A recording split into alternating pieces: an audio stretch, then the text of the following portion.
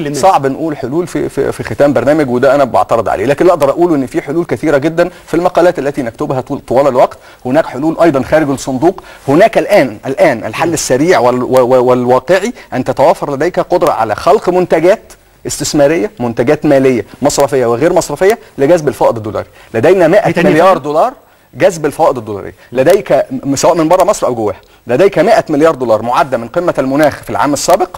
معدة كده عشان يبقى عندك شوية منتجات زي ال- ال bonds ال green bonds اللي هي السندات الخضراء السندات ال- التي آه، يعني تمول مشروعات صديقة للبيئة.